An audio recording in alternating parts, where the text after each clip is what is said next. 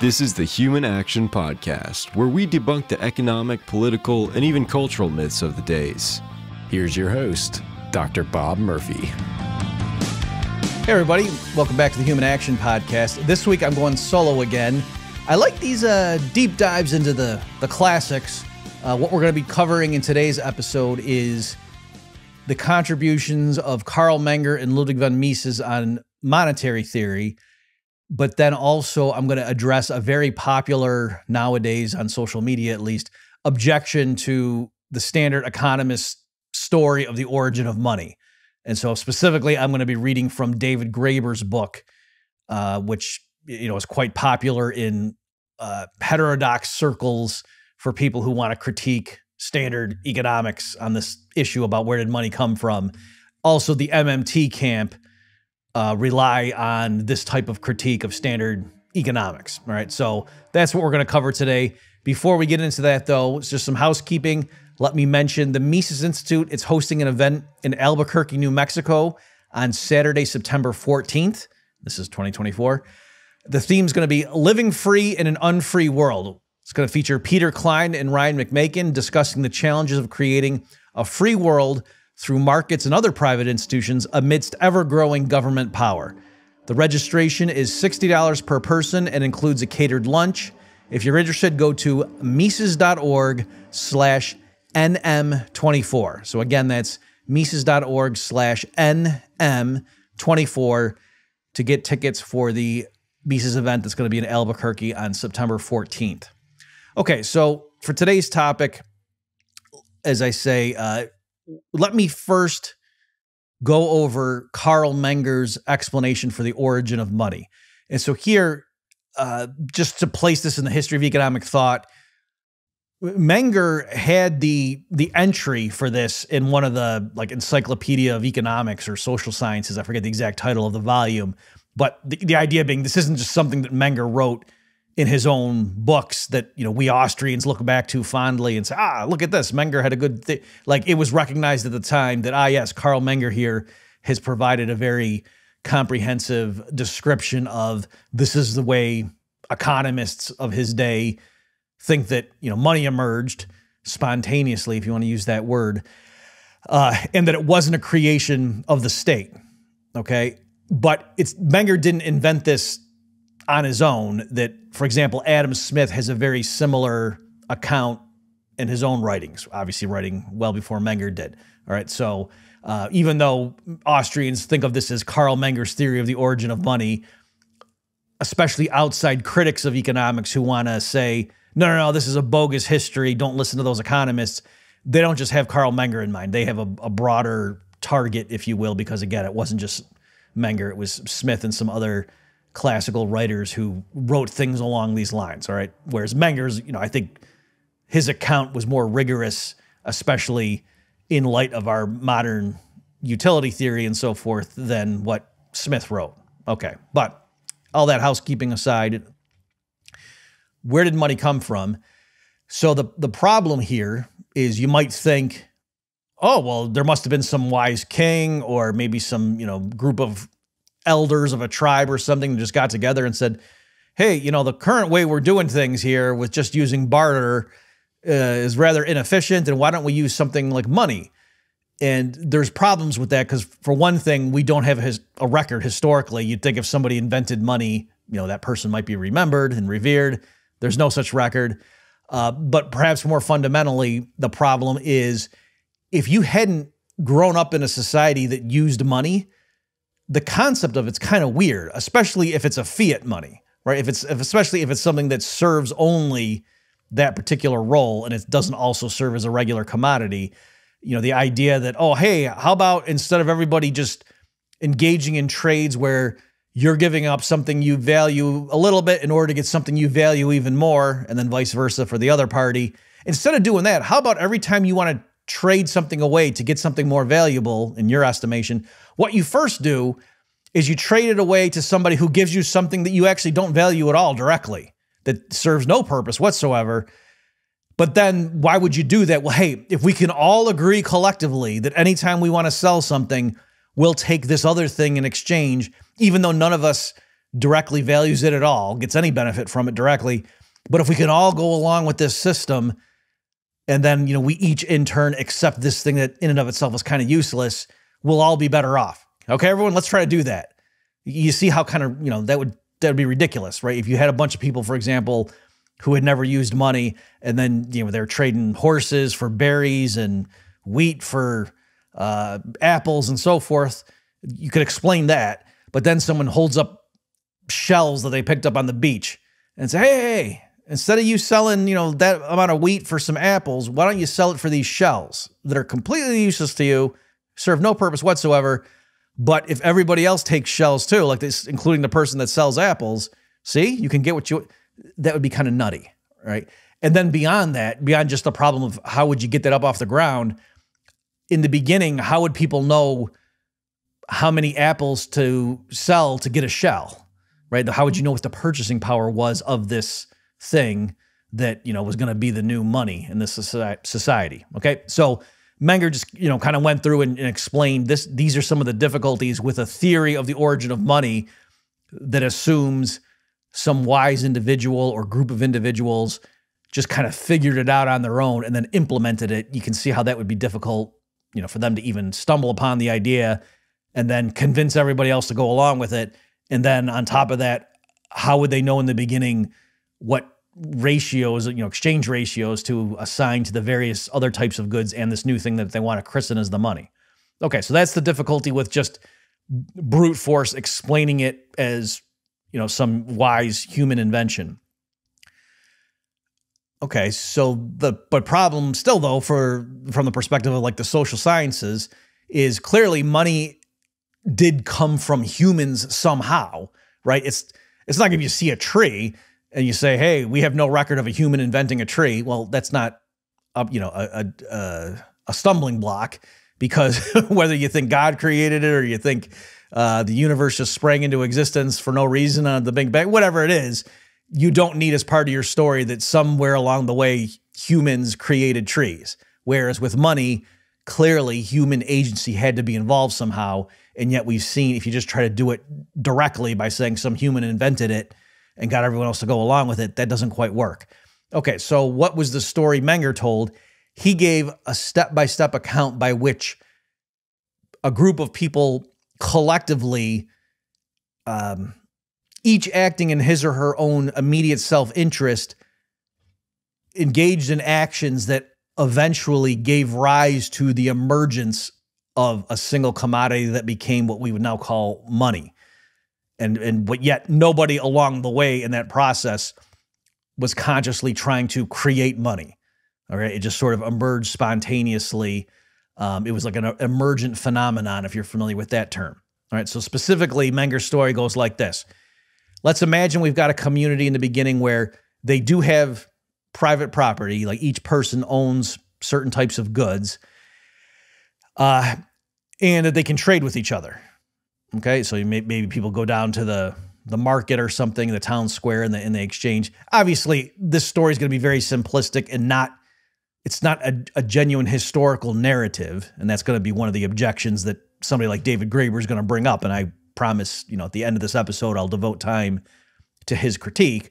But for right now, let me just acknowledge Menger wasn't offering this as, hey, this is literally what happened during this time period. He's just trying to walk through the logic of this is how it could have emerged. And I, as the social scientist, do not need to posit any sort of superhuman wisdom or you know any kind of leaps in the story that jump over some difficulties like well how would they know what the exchange ratio should be okay so that's the the function of this narrative okay so um there would be you know exchange ratios of various goods for each other but also besides just knowing the relative market valuation of goods like to say oh yeah this many apples trades for that many oranges or uh, you know one horse trades for this much tobacco and you know so forth or an hour of this person's labor trades for 6 hours of that person's labor did you know those types of things that also different items would have different degrees of uh, it's it was translated you know because Menger's obviously not writing in English. The the version I saw was translated as sale ability but we might think of it as marketability or um, maybe even liquidity, right? There's different ways of of translating, you know, what he was trying to get across. But the idea was if you hold a, a certain type of commodity, not only can you evaluate it in terms of, hey, what can this fetch in the marketplace? But you also can say, how hard will it be for me to find another trading partner who would give me that for it? Right. And we see this distinction um, again, like in our modern parlance, probably the word liquidity is what captures this this idea. If somebody says, um, you know, how, what's the market value of this suitcase that's got uh, a thousand one hundred dollar bills in it?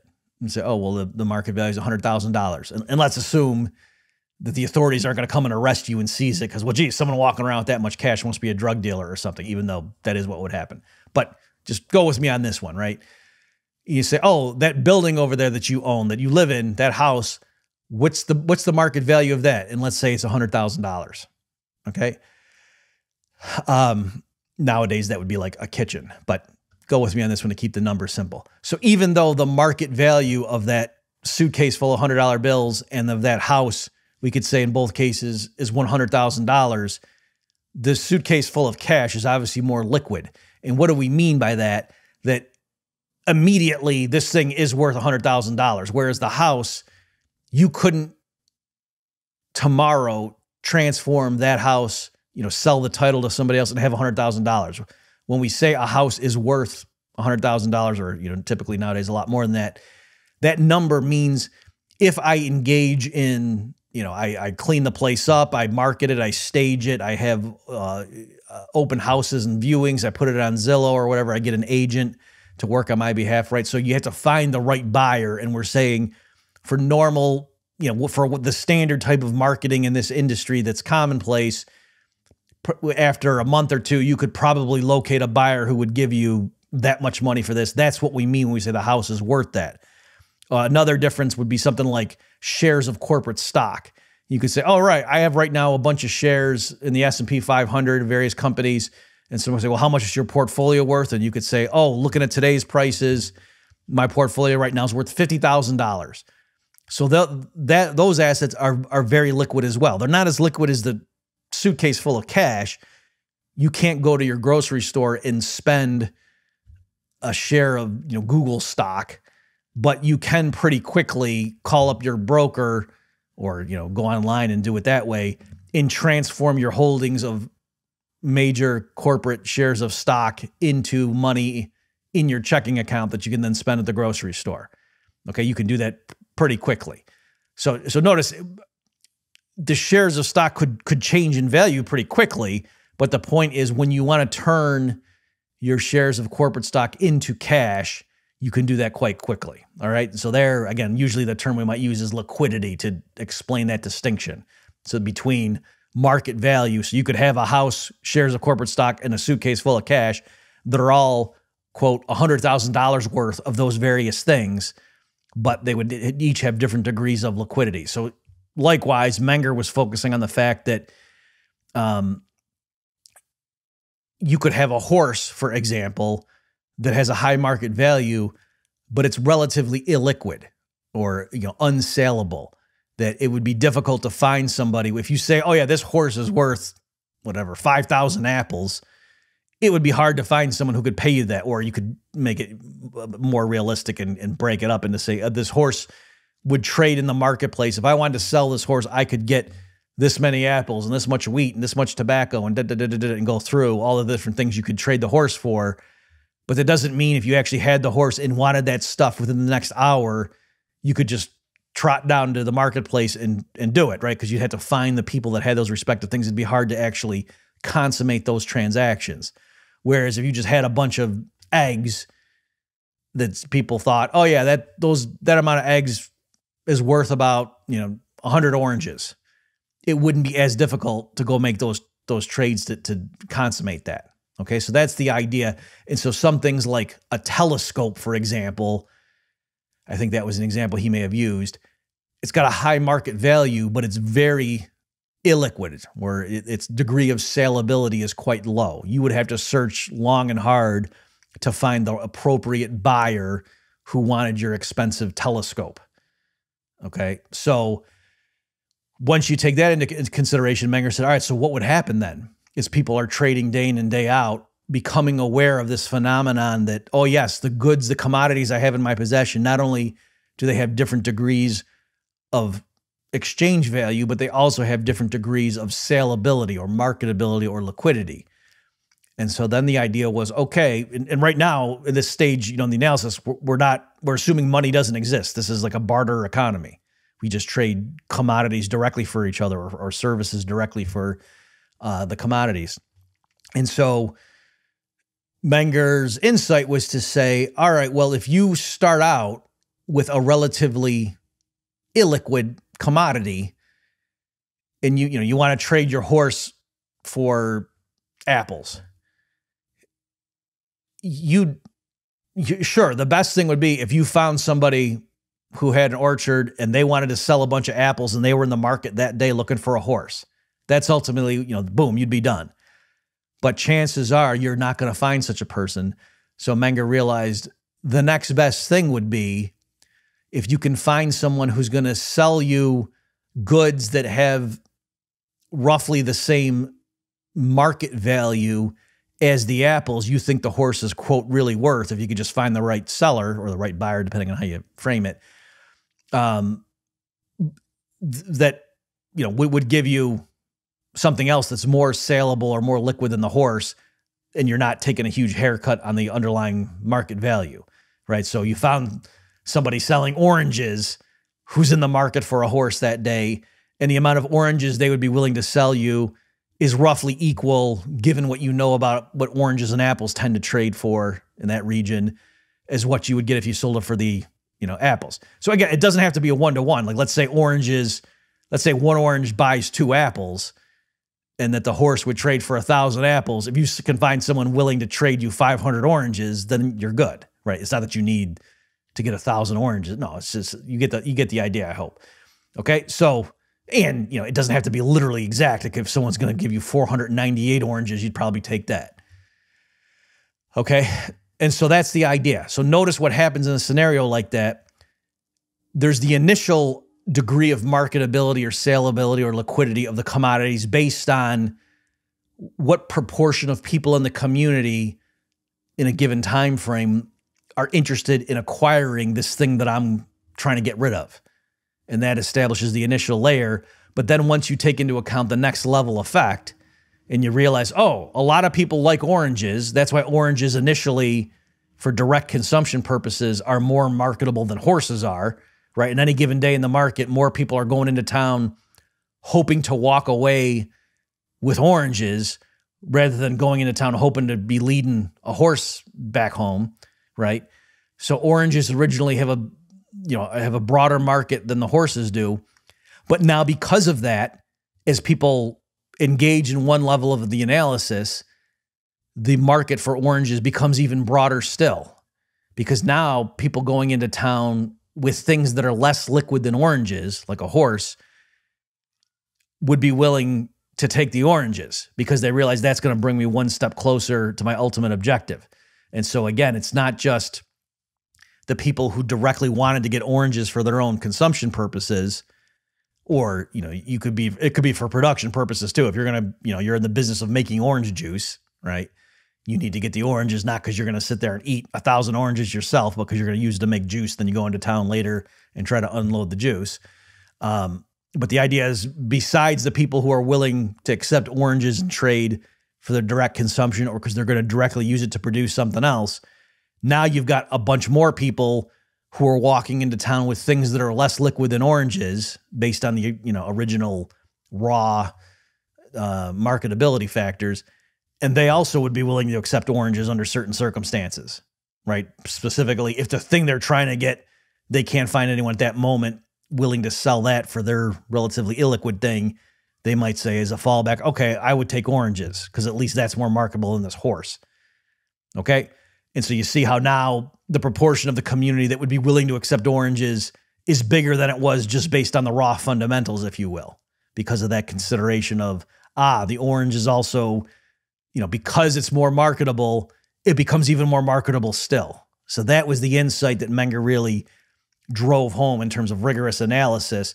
And then he just followed that process to its logical conclusion. I think you can see where this is going is that, um, as, as we've seen, the goods that happen to be more marketable for direct, sort of fundamental reasons in the beginning, over time, as more and more people are accepting it because they know, oh, this is a stepping stone to what I ultimately want, the process snowballs.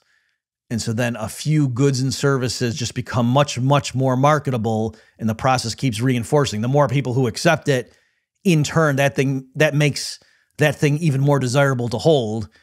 And hence it enhances the, you know, it increases the number of people in the community that are willing to accept it as on one side of a trade. And ultimately, you arrive at a situation where there's one or two commodities that are so superior and that everybody in the community virtually is willing to accept those in a trade. And then that's what a money is, right? What is money? One way of thinking about it is to say when people want to sell something they start out with, and that could include services that they perform, in order to buy goods or services from others in the community, what the money good is, is something that's like an intermediary, a way station where you sell the thing you're trying to get rid of first for the money good. And then in turn, you use the money good to go buy the thing that you ultimately want. And so if everybody, if, if so, it's not so much that everybody does that. It's that if there's one good um, that everybody would accept in that capacity, then that thing is the money, or it's a money if there are multiple goods that have that property being true of them. Okay. So, just to introduce some terminology here, in modern Austrian economics, and other economists use these terms too, um, a good is a medium of exchange if in a trade you accept it not because you're going to directly consume it or even that you're directly going to use it in production, but because you're intending to trade it away again.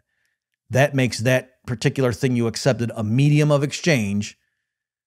And then if it's a if there is a medium of exchange that is widely or nearly universally accepted in a given community, then that medium of exchange is money. Okay? So items could be media, that's the plural, of exchange and not be money, right? If there's a certain commodity that's, you know, 20% of the people in the community will accept in a trade even though they're just going to hold it and trade it away in the future. But the other 80% wouldn't accept that thing. It's a medium of exchange, but it's not money. Okay, so all money is a medium of exchange, but not all media of exchange are money. All right. Okay, let me make another distinction. What I just said there was the definition, again, at least in the Austrian tradition of what money is. It's a medium of exchange that's nearly universally accepted, at least in a given community. That's what money is. That's the definition of it. If that is true, then the thing is money. If it's not true, the thing is not money. Now, side by side with that, we can talk about what are the characteristics or the qualities of a commodity that would make it likely that it would turn into that thing and satisfy that definition. And so here you talk about stuff like it's durable, it's easily divisible, um, it's homogeneous in its characteristics or its its substance. Um, yeah, I, th- I think I've I've made a few. A few oh, it, has got a um, under normal market conditions. It's got a convenient amount of purchasing power relative to its size and or its weight. Right, that's another characteristic that would make something useful as a money. Okay? And so using those types of criteria, we can understand why is it that over time if we started out in a condition of barter that certain goods their marketability would expand, expand, expand over time and snowball until finally basically everybody in the community in general accepts that one thing in any given transaction is one side of it and then up oh, that's a money and again it could be a money not the money in case you know that's possible a community has more than one commodity satisfying that definition. Okay. But again, the definition says it's a medium of exchange that's universally accepted in a given community. And those other things like, oh, it's easily divisible, it's durable, um, it's homogeneous in its substance, things like that. Those are all qualities that a commodity could possess that makes it likely that it would become one of those things. Okay. And so we can go through just to give you an idea, cut to the chase gold and silver are excellent monies because they score well on all those criteria that I went through. Right? Gold and silver, it's, you know, easily divisible whereas a horse isn't, right? So this is a good way to just walk through and just explain even though when I first motivated this discussion, I, I was using oranges. Obviously, oranges are a terrible money, right? Because among other things, they they're not durable. That's the thing that they really you know er, do poorly on in terms of those criteria I listed. Um, also, they're not homogeneous in quality. It's not like a pound of oranges is just as good as any other pound of oranges. It would matter, like, you know, are they real big, thick, juicy ones or are they real tiny ones? You know, stuff like that. Even the, the beyond the fact that whatever the quality is, if you wait a week, then the quality is going to be awful across the board. But I'm saying even if you get them at the perfect time, some oranges are better than others as far as you know their the service they provide to human beings. And so that's why oranges, even though they would be more marketable than a telescope, and so somebody going into town with a telescope who's trying to get apples, if he can't find someone with a bunch of apples that wants a telescope that day, he might trade it for the oranges.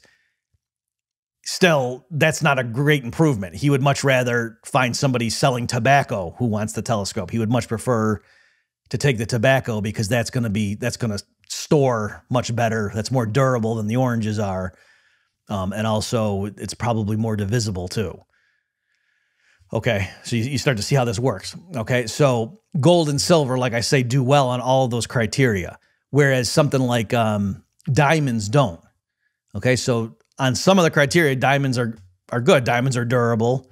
Uh, in terms of their weight, they have a good exchange value. Right, like if you had to buy something fairly expensive, you don't need to bring hundred pounds of diamonds to get it right? So there's there's that element. But the problem with diamonds are they're not easily divisible.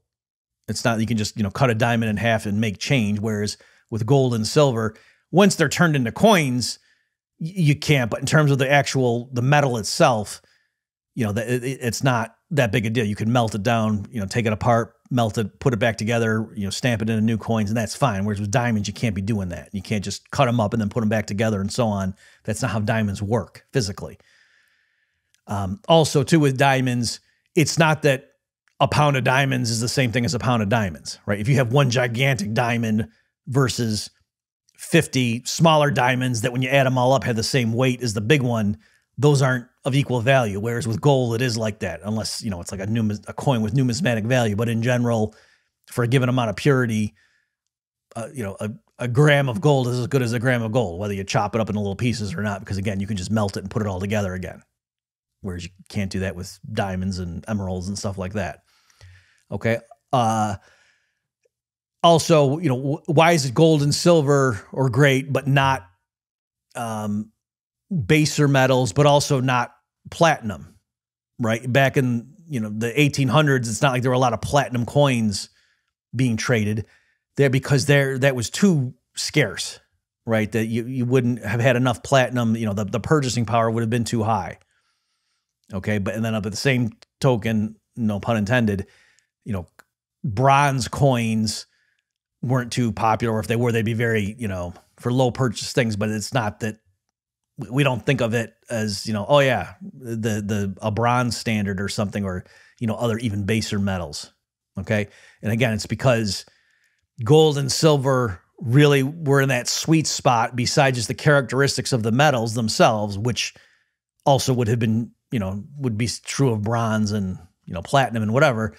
But in terms of given the numbers and just the relative scarcities and so forth and the demands humans made of them in terms of their industrial and, and applications to jewelry and whatnot, just the, the the relative market exchange value of gold and silver made them ideal for commerce.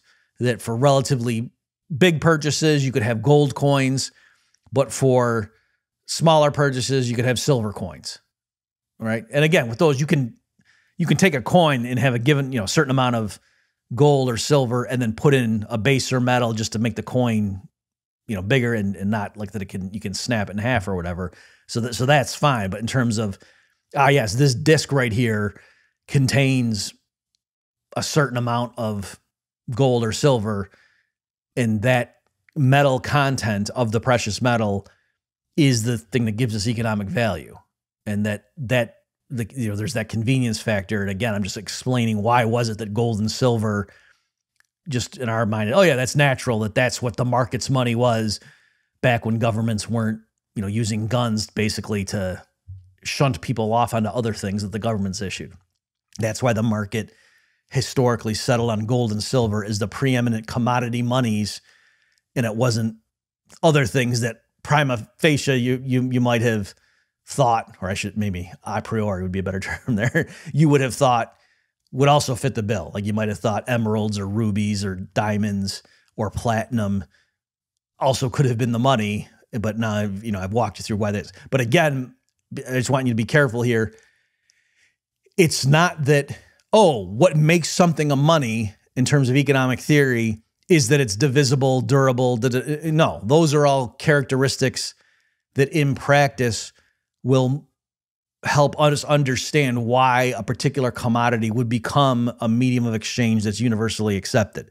But it's being a medium of exchange that's universally or nearly universally accepted that makes something the money, right? Those other characteristics are just things that tend to be associated with a commodity that achieves that status. Okay, so that's Menger's explanation. And again, just to anticipate in a little bit here, I will uh, deal with the critique of that story I just told that's coming from anthropologists and MMT types. But before we do that, let me now explain what was the contribution of Ludwig von Mises to monetary theory. So here, you know, and it's I think this is an underappreciated element of what Mises did, just his role as a theoretical economist, and uh, that's partly why I want to just covered this topic in this episode of the Human Action Podcast because you know, this is something that I think is perhaps not fully appreciated among, I mean, the, the people with PhDs in academia who are Austrian economists know this, but I'm just saying the rank and file know stuff like, oh yeah, Mises wrote a scathing critique of socialism and he explained the importance of economic calculation and you know other things that he he may have done but this element here that he did with uh, monetary theory i think is quite interesting. So remember as we've talked about on this very podcast not too long ago in the early 1870s, there was what was called the marginal revolution. And that displaced the old uh, cost slash labor theory of value explanation of market prices. It replaced it with a marginal subjectivist approach. All right. And, and I, in the show notes page here, I'll, I'll link to that if you missed that episode. It was, it was fairly recent. Okay. And so the, that was the new method, let's say by, you know, the 1880s. This was now the new approach that more and more economists were embracing. Böhm-Bawerk you know, wrote lengthy expositions on this is how you use this new framework that Carl Menger gave us and William Stanley Jevons did and Leon Walras did in their own different ways for explaining the exchange ratio and the inequilibrium of commodities. But really, what Menger and Jevons and Walras spelled out really was just if you looked at final consumer goods and how do we explain as economists the determination of the equilibrium exchange ratios of those goods, where the reason people value them is because they're going to directly consume them that's ultimate, you know, that they had that explanation down pat and they could explain that very well. But it still seemed like there was a, a difficulty in, okay, well, how do we explain though the market value of the money commodity in its role as a commodity, or you could say qua, Q U A, right? This, this commodity qua money, how do we as economists explain its value or its purchasing power? And that seemed for many economists, it seemed like the new marginal utility approach didn't didn't work in that context. And, he, and here was the issue. As they said, all right, I understand if we want to say, why is it that one orange trades for two apples? And I can understand, ah, yes, I've read Menger and Walras and Jevons, and they're saying, oh, because people have preferences. And what's really, you know, the contribution is they have preferences on the margin, right? So it's not just to say, do I like apples more than oranges? It's given that right now I have 10 oranges and three apples on the margin, you know, I, if I want to give up that 10th orange to get my fourth apple, is that, you know, would that increase my utility? You know, that's the way you, you do things. You, you evaluate it on the margin and that unlocked the solution to some of the problems that were tripping up the classical economists when they were trying to explain the origin of market prices or the determination of market prices. Okay.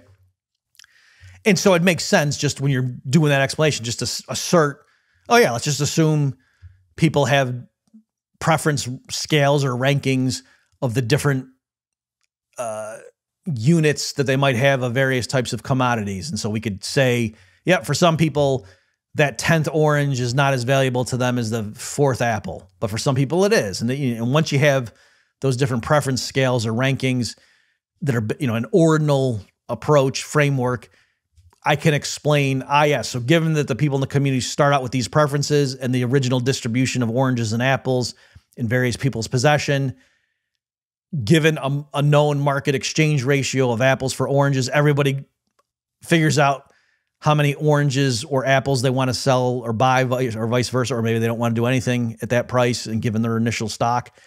And then equilibrium occurs when given what the price exchange ratio is, the, the barter exchange ratio, the amount of apples being sold for oranges equals the amount of oranges being sold for apples, and or you get what I'm saying, the reciprocal, and that's fine. Everybody's happy, and then everyone, you know, some trades occur, and then everybody walks away from the marketplace better off than they entered it. And given that exchange ratio, nobody can rearrange their holdings in a way that increases their utility, right? Okay, so you can tell that story.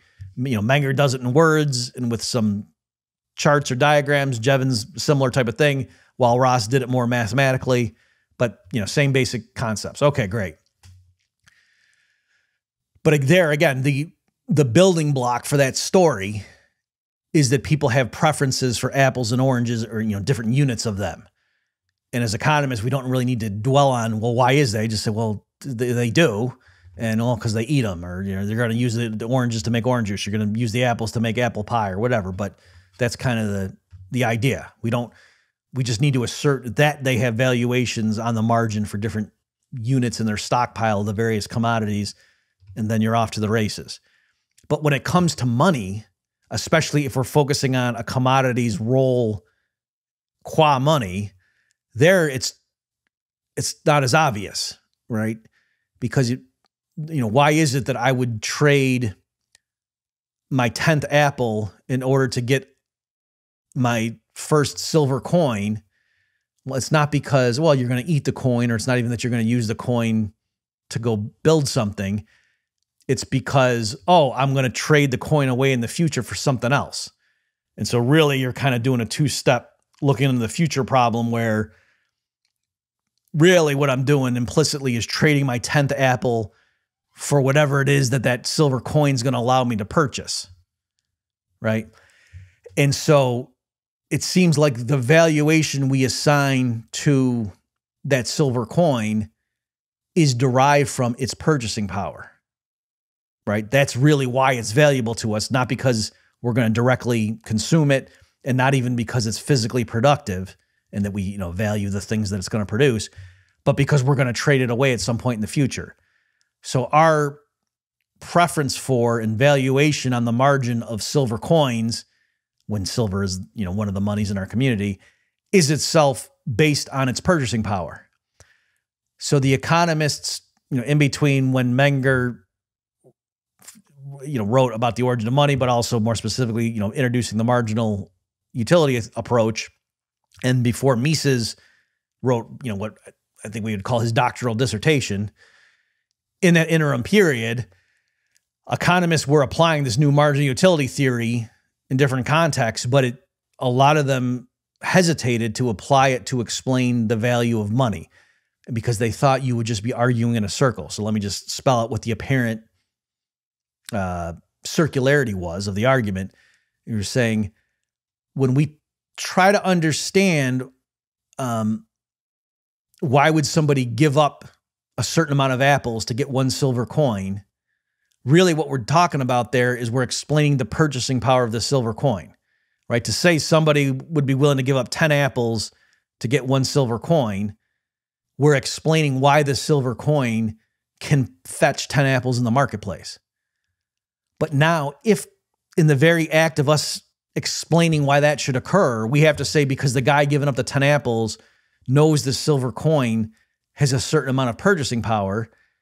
For him to even know that, he's got to know what will people in this community be willing to give up in terms of real goods and services for this silver coin.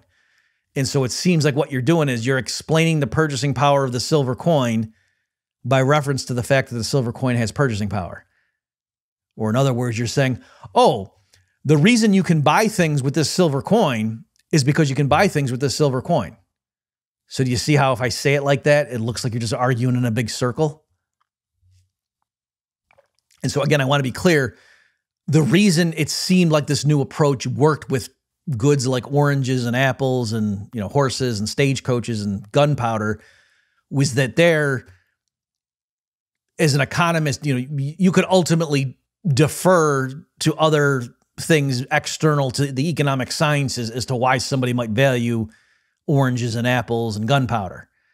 Whereas with money, qua money, the reason you're valuing it is precisely because of its purchasing power. So it seemed, again, like a circular argument to say the reason we're going to explain its purchasing power by reference to its purchasing power.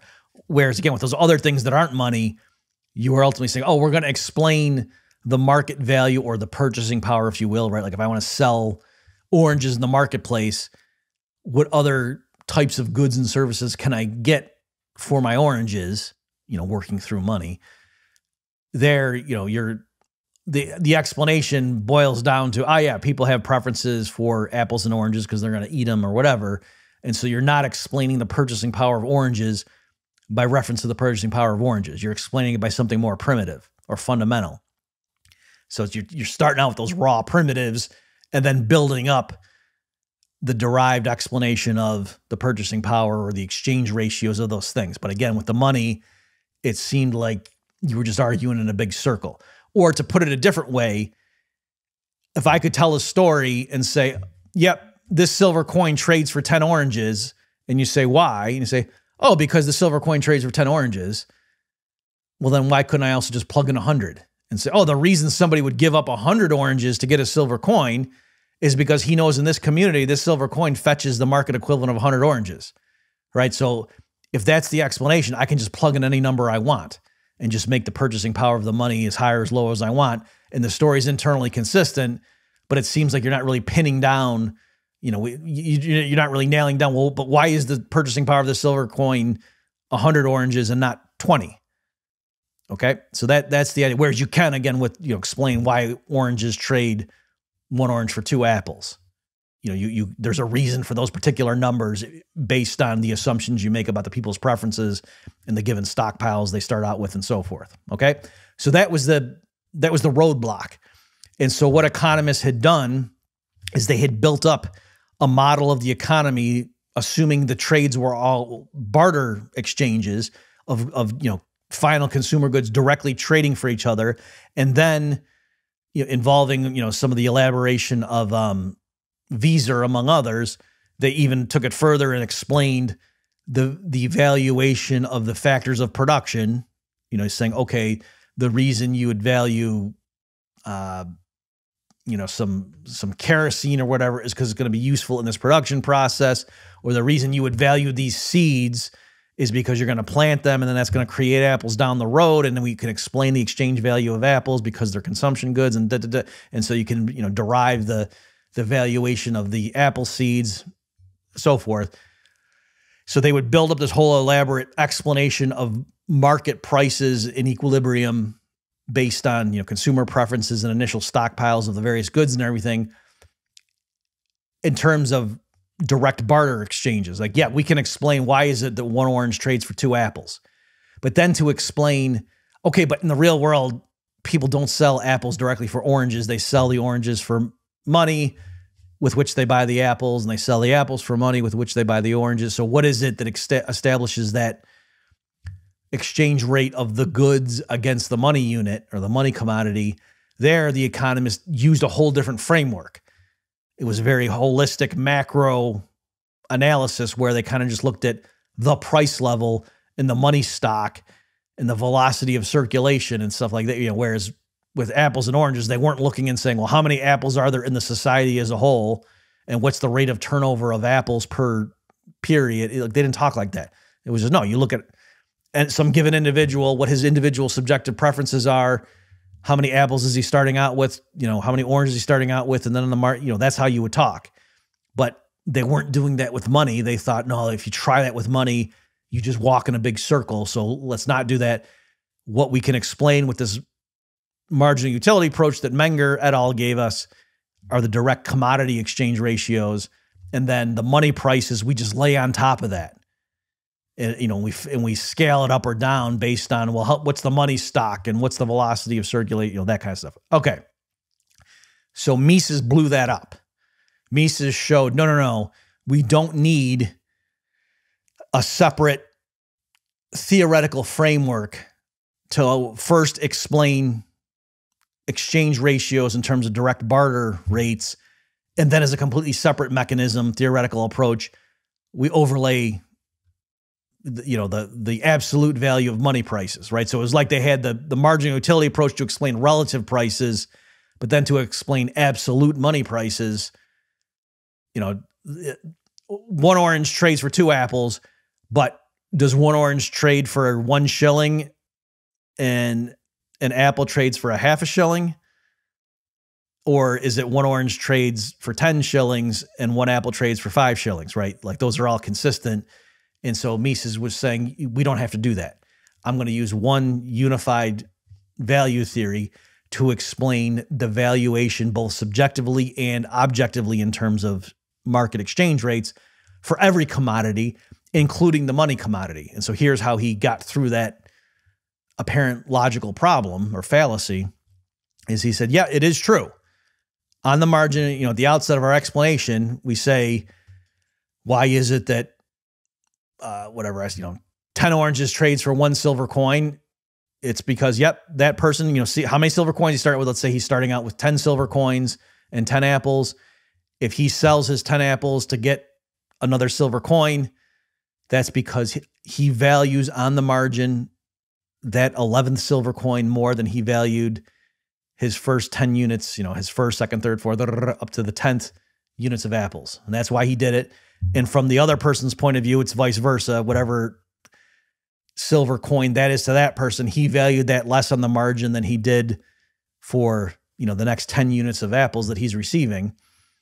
That, you know, that's fine.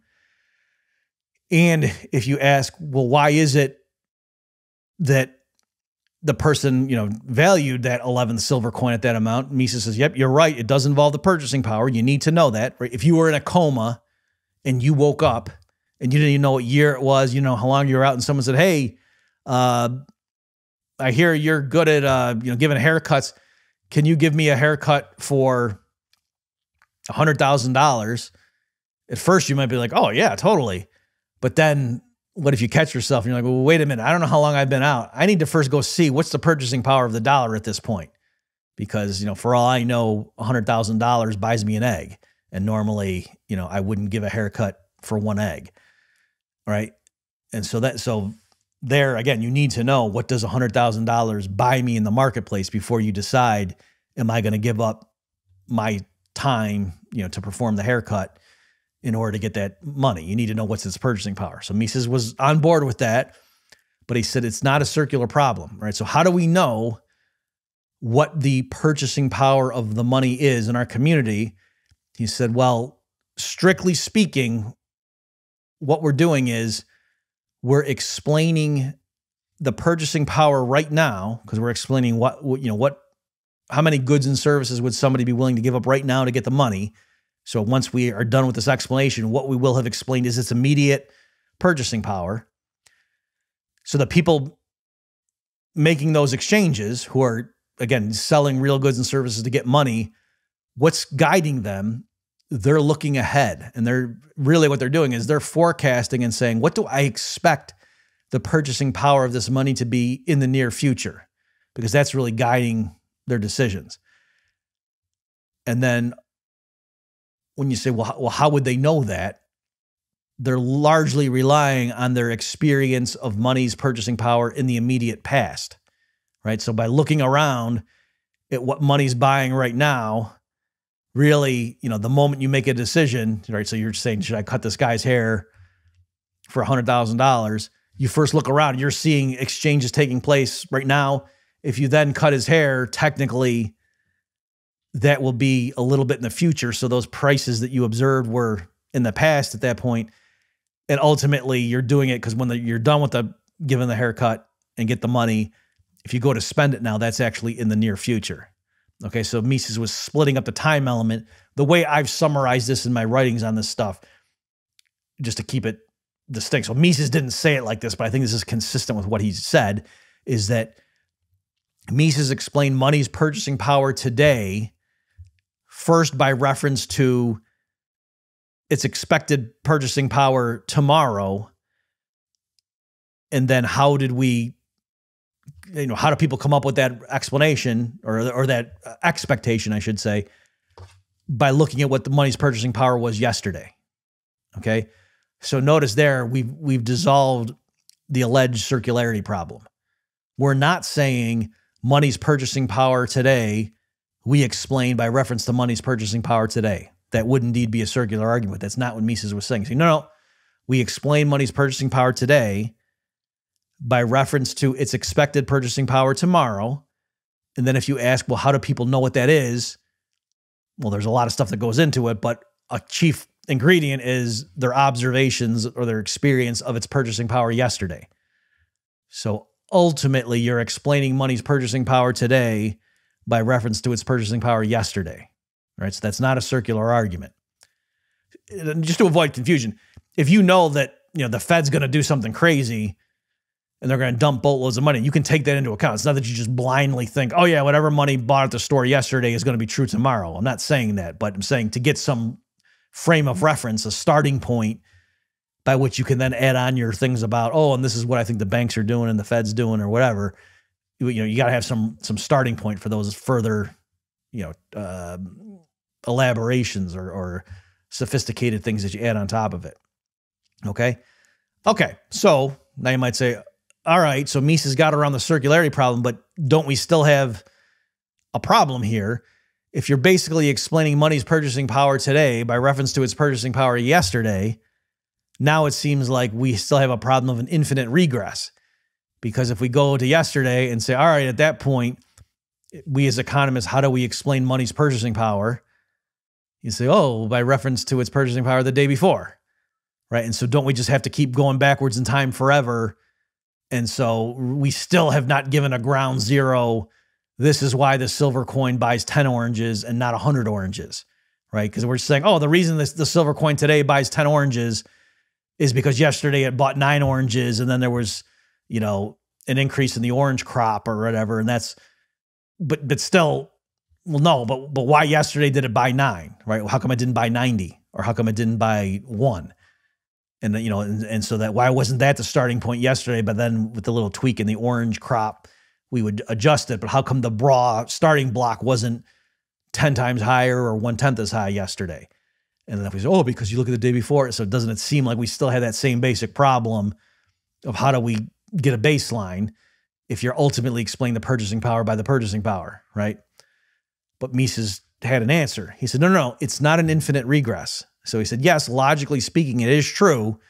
My story so far does involve the fact that if I'm basically, if one of the major ingredients to explain money's purchasing power today is people's observations or experience of what its purchasing power was yesterday, it is true that if you raise the question, but yesterday, how did people, you know, what determined the price of the purchasing power of money yesterday? And you say purchasing power of money the day before. And you keep working backwards, it's not an infinite regress. And why? He says, because as Carl Menger showed us, there was a point at which money didn't exist.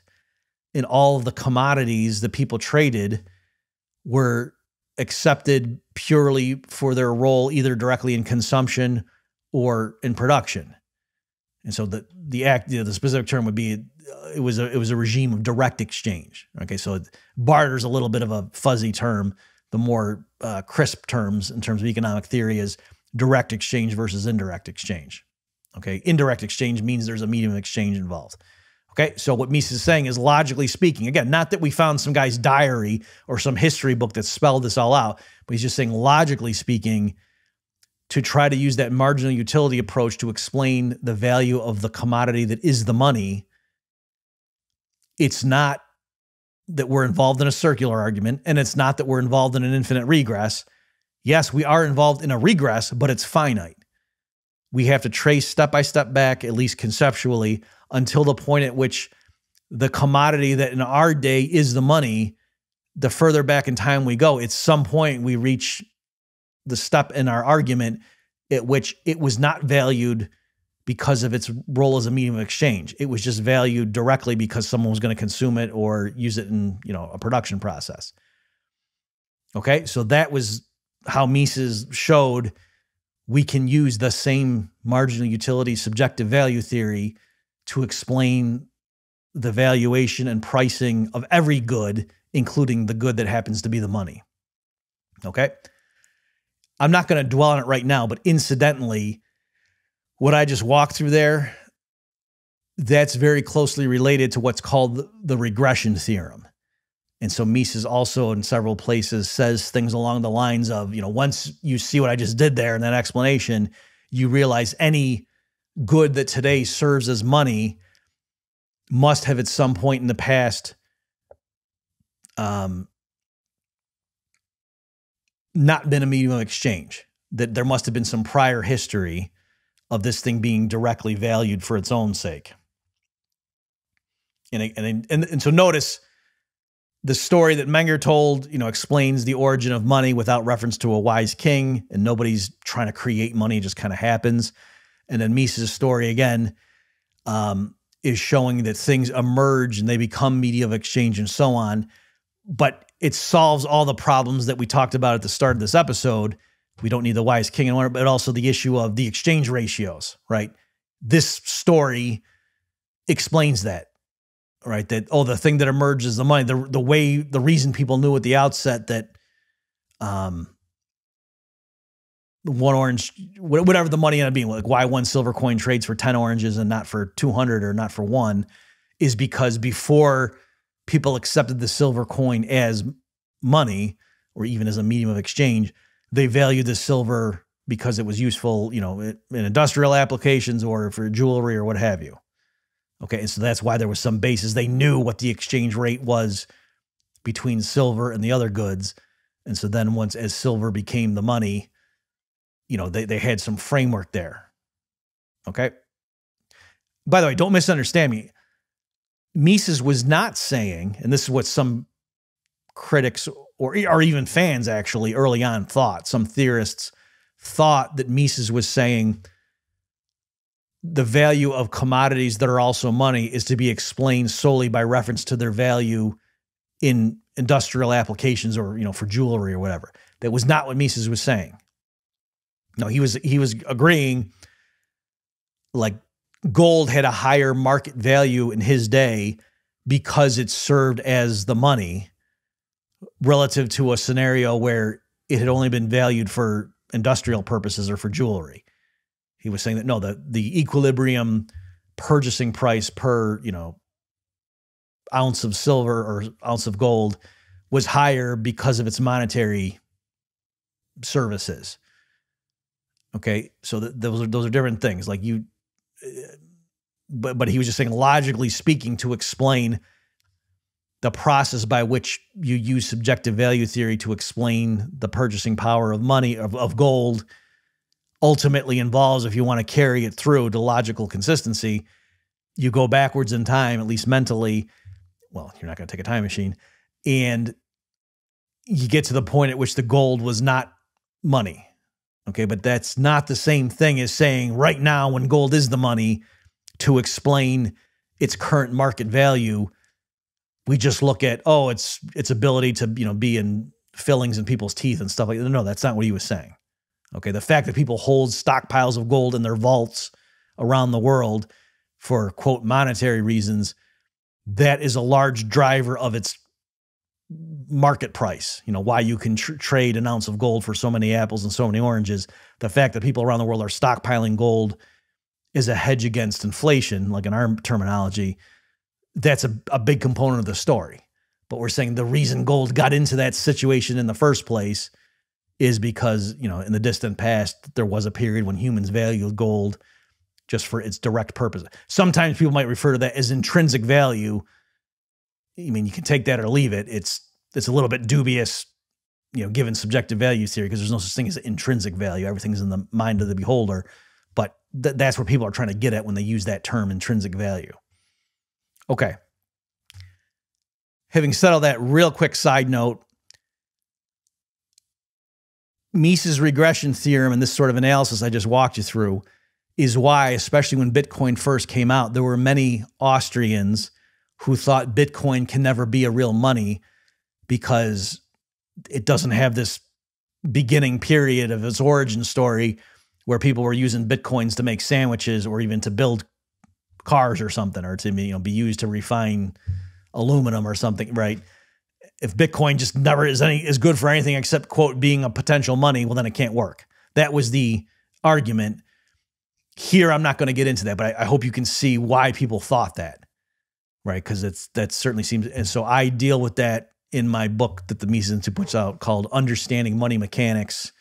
You can just Google my name and that, and you'll get the you know the free PDFs available, or you can get the physical copy.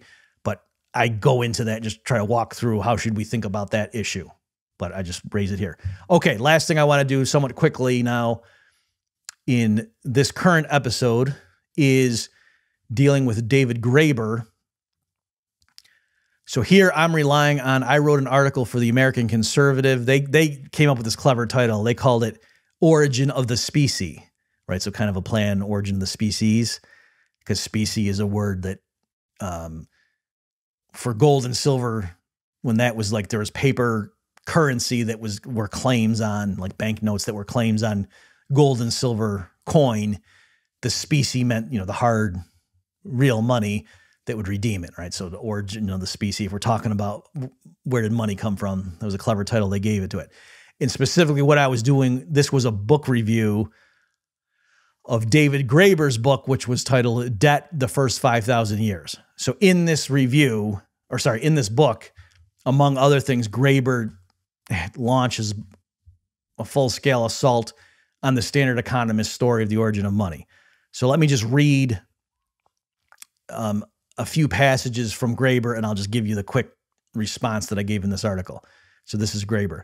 So he first summarized the standard story, like you know that Adam Smith or Menger. Um, I think J.B. Say might he quoted some French economists, and now the name's escaping me. I forget which one he quoted. You know, given that standard origin of money story, and then this is Graeber now critiquing it. The problem is there's no evidence that it ever happened, and an enormous amount of evidence suggesting that it did not. For centuries now, explorers have been trying to find this fabled land of barter, none with success. Adam Smith set his story in Aboriginal North America. But Lewis Henry Morgan's description of the Six Nations of the Iroquois made clear that the main economic institutions among the Iroquois nations were longhouses where most goods were stockpiled and then allocated by women's councils, and no one ever traded arrowheads for slabs of meat. To this day, no one has been able to locate a part of the world where the ordinary mode of economic transactions between neighbors takes the form of, I'll give you 20 chickens for that cow. Okay. So, and again, the, the reason I'm focusing on this is because this has really gained traction. It was even in that, um, the MMT documentary called Finding the Money that here on this podcast I walked through methodically and gave a pretty systematic critique. But I don't think in my critique there I got into it because I just ran out of time. But this was something they got into in that documentary where they made fun of this origin story that the economists give. And they were saying, yeah, the economists want you to think that money emerged spontaneously because they don't want there to be any role for the state. right? This this way, these laissez-faire economists can just say we don't need the government, but really, government created the money, right? That's that's what their storyline is, and they think that we're being ideological by trying to say no, no, no, it didn't involve the wise king. So here, Graeber's saying, hey, you know, don't trust these armchair economists who can't be bothered to crack a history book or anthropology anthropology text. They have no idea. They're just making this stuff up.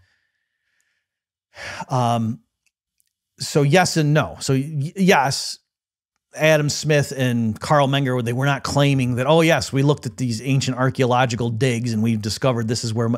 No, they were doing a conceptual, logical backfilling, if you will, to explain theoretically how you could start from a condition of barter exchange and then explain the origin of money.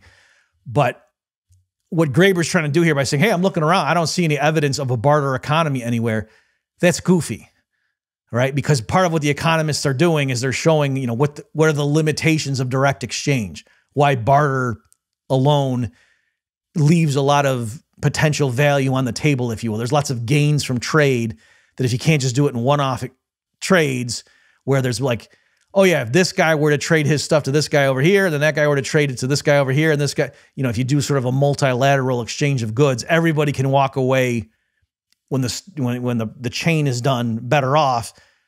But in any one by one thing one party's worse off right? Whereas with money you get around that right? The one so you know like the the butcher wants eggs but the chicken farmer doesn't want uh, beef you know doesn't want hamburger right and so then there's a problem but then if the cobbler wants um, beef and doesn't want eggs or you know I'm, I'm, getting a little mixed up as I'm doing it, but you get the idea. If there's three people and they each you know want something that one of the other people has and they're willing to give up, but it doesn't match up for any two at a time with one-off trades that can't work. But if they can all kind of like rotate what they have around the circle clockwise or whatever, then they can all be better off. That would work, and money allows that to happen because then one person just trades his thing for money. He buys what he wants for money. That person uses his money to buy what he wants, and then it's like the money just all kind of makes a, a circuit around. Everyone ends up with the same amount of money they had at the beginning, but now they gave up what they wanted to get rid of and they got something else that they valued more highly. And that's true for everybody in the circle, right? So money allows for multi party transactions that one off barter exchanges would not allow unless people were like looking ahead and, you know, doing real sophisticated things. Whereas money just means, nope, all I have to know is I know what the money can buy do I want to give up my thing for the money?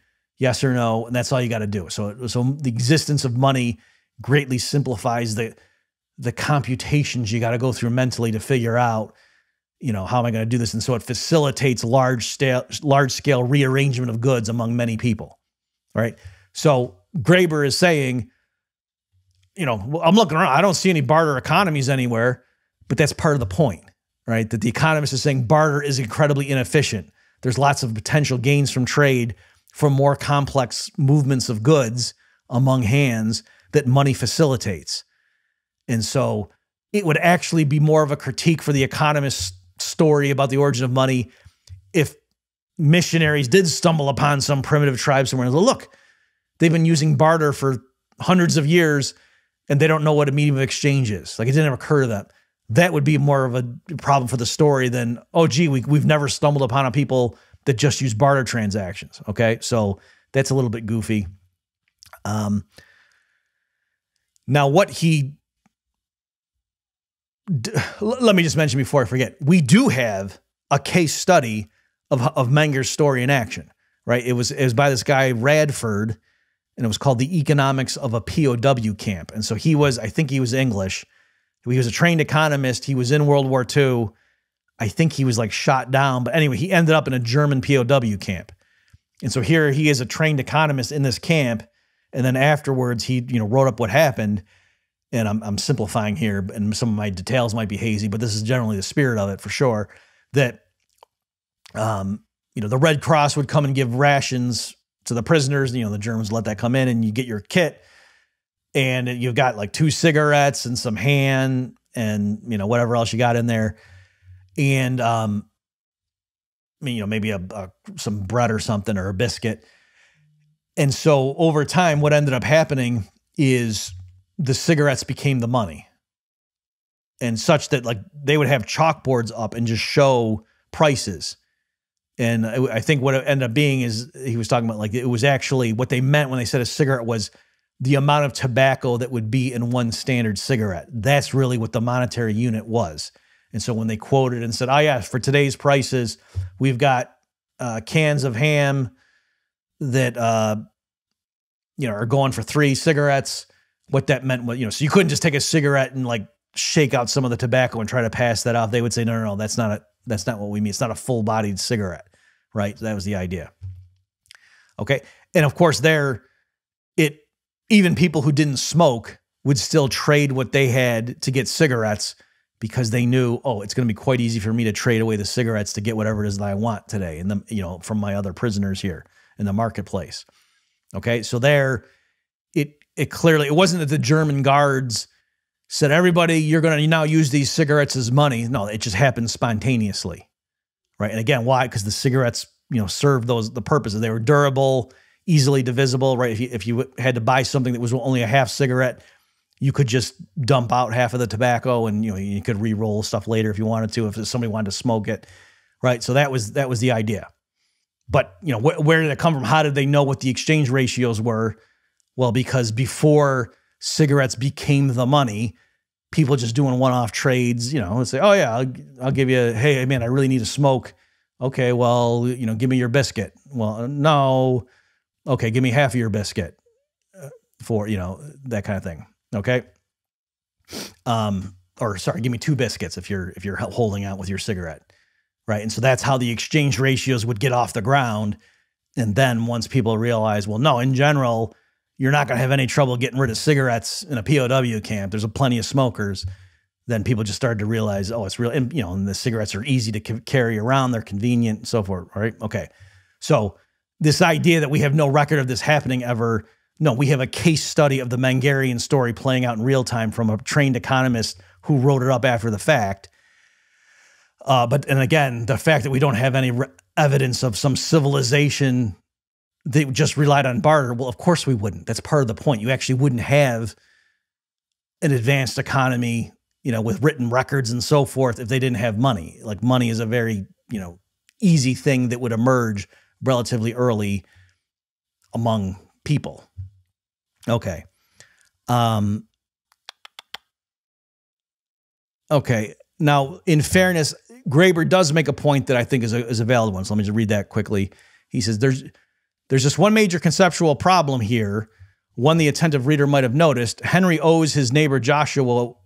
Oh, oops. Okay, sorry. Hang on. I'm, I'm getting a little ahead of myself first, what Graeber did was he said, um, rather than this model that the economists use of a community that just relies on barter transactions, really what they would do, it was more of a customary um, credit transaction. So it wasn't just that your neighbors would say, Hey, here's my cow and I want your berries and let's trade. It was more like if you were hungry and needed your neighbor's berries, you'd say, Hey, can I have some of your berries right now? and I'm good for it. You know, down the road when I have relative plenty and you need something, then I'll, you know, I'll, I'll pay you back. Can you do me a solid? And it was more like that is what these communities would do rather than these sort of one-off capitalistic transactions the way these idiot economists think, right? That, that you know, uh, other societies are organized on principles involving community relations more, and it's more of a you know, hey, can you do me a favor today? And down the road, I'll pay you back kind of thing. Okay. So I, I think Graeber is right that normally the way we teach this stuff uh, didn't take that into account. It was always just a static one off, you know, people meeting in the local town bazaar and then they walk away and they never see each other again. Whereas he's saying, no, no, if you got people living in proximity for their whole lives, you know, intertemporal trades would you know that's something that might be more foundational than we normally give credit to in the economist story. Fair enough. But but now we get into an issue here.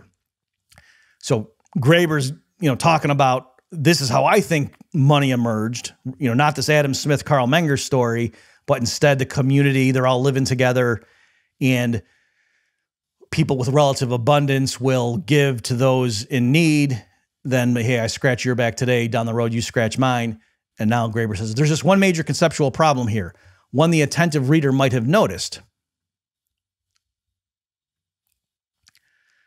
Henry owes his neighbor Joshua one.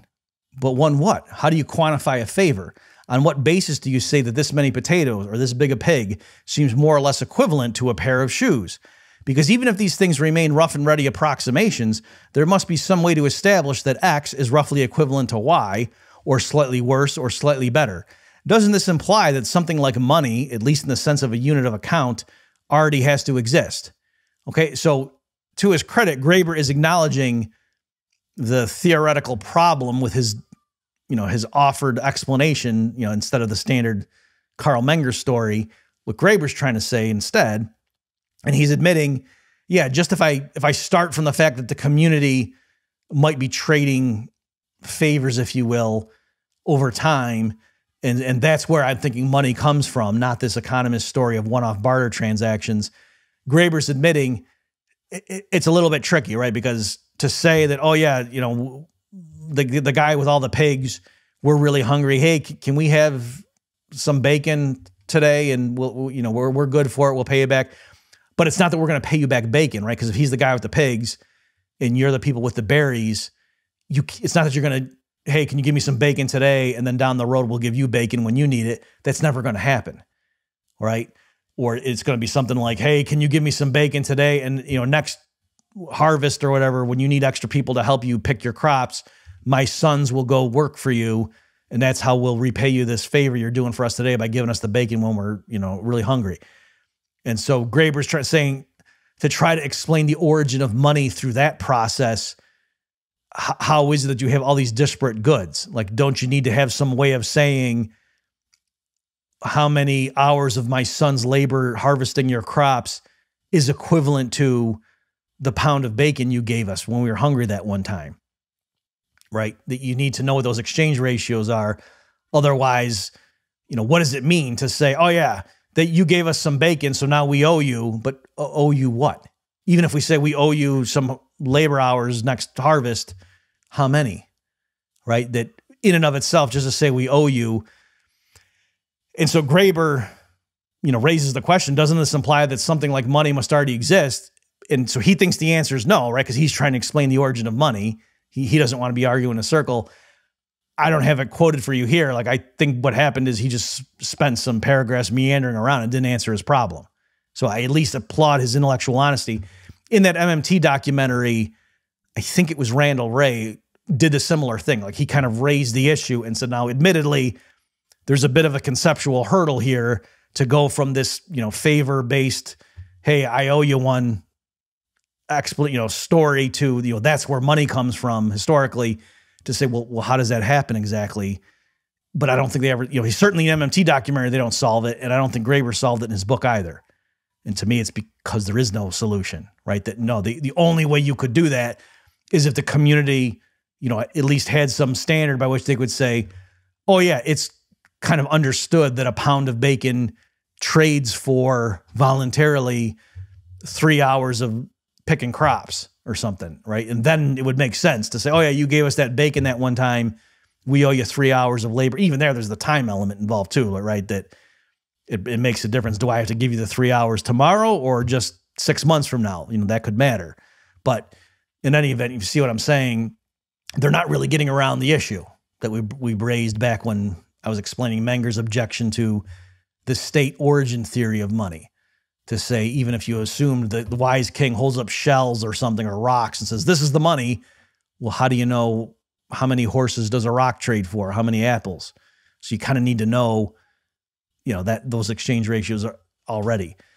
Okay, so if if if Graeber is trying to to not even start with those original barter exchange ratios and explain money that way, well then it seems like you're you're dead in the water. And I don't think he he raises the problem, but my mind doesn't solve it.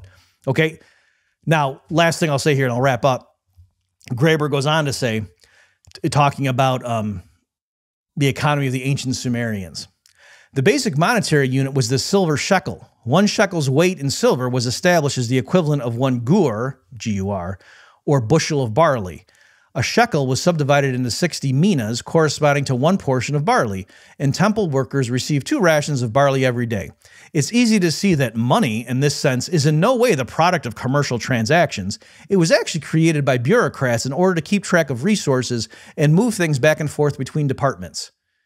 Okay, so my observation here was doesn't that seem like a, an extraordinary coincidence? He's saying the reason that the silver shekel was money was because the temple bureaucrats just picked it.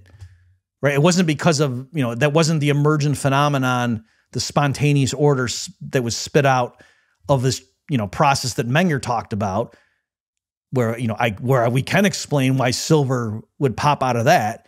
He's saying, no, the temple bureaucrats picked it. And it was just kind of a way of, you know, bookkeeping. So why would they pick silver? Doesn't that seem like a huge coincidence? They could have picked anything. They could have even just, you know, picked Satoshis and just had this abstract unit that they kept track of by writing on the walls or something. Why was it that they picked something physical and picked silver? So I would say, you know, clearly it's not that we have their diaries from the time and they say, yes, there was no such thing as money. And the temple bureaucrats, no, what we have are records knowing that, oh, yeah, the bureaucrats paid these people in silver shekels. And then Graeber is ex post explaining that by saying, oh, the bureaucrats must have invented that and picked that. And we don't have records of silver trading, you know, emerging from this barter process the way Carl Menger talked about. So it must be the. And I would say, no, I think it's much more likely that silver did emerge through the process that Menger talked about. We don't have records of that because it would have been a primitive society before money existed. And once silver was the money in that region, it's not surprising the temple bureaucrats co opted that and used it themselves when they paid workers. That makes way more sense than that. No, they just picked something by fiat and they happened to pick the thing that later on clearly was the market's choice for the reasons that, you know, Menger talked about, right?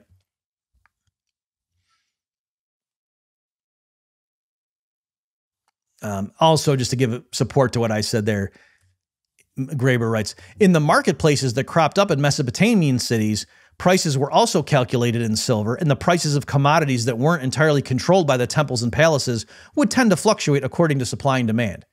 Right? So he's admitting, oh, yeah, in the external world. And he also talks about um, when people in that region would trade with, you know, merchants from far off lands, they would use silver too with those people.